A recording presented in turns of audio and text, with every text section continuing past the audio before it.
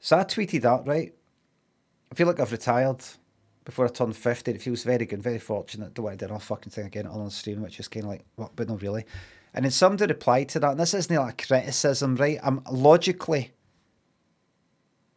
logically, I'm reading it going, ah, I don't quite, I get it, what this person's saying, but also I kind of don't think it makes sense.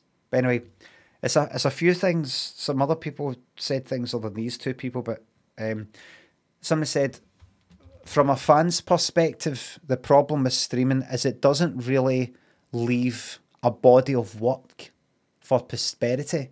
posterity. That's one for the blooper reel. It's like if a great writer stopped writing books and just did spaces on X, right? And then somebody else replied to that person saying, This is what gets me. I'm very glad Limmy is happy and unstressed but a guy with his level of talent could and should leave a solid body of work. A few YouTube compilations isn't that.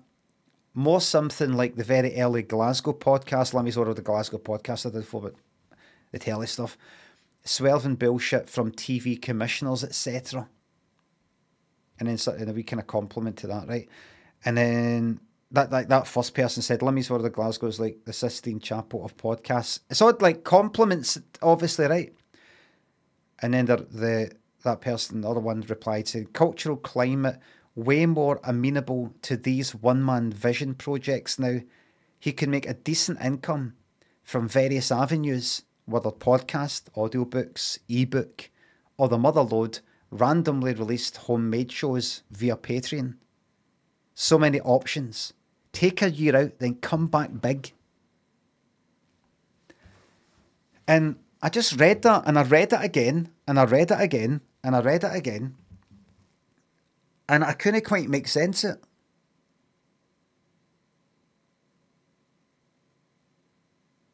I have a feeling that if I was to reply to them and, and go, what, what do you mean exactly? The compliments and the compliments, right? But I think if I was to ask them what they mean, when when it was all boiled boiled in, they would go, "Aye, I don't really know what I'm talking about, Limmy. I just I just like to see make make more stuff." But what they've said, this you know, this body of work, solid body of work. What the fuck are you on about? By the way, you know, don't have a go at them. I'm just just I, I was just thinking could and should leave a solid body of work. What does that look like? What is that? As this person says, so many options! Exclamation mark. Take a year out, then come back big. You fucking come back big, mate. You come back big. But a guy with this level of talent could and should leave a solid body of work. Take your body of work part and shove it up your fucking arse, you wank. No offence, I'm not having a go.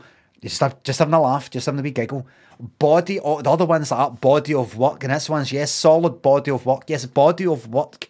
Body of work. Body of fucking work. A solid body of work. Fucking listen to yourself. I mean, really, do you want to make anything up for anybody who refers to your stuff as your body of work? That's like fucking comedy forum part.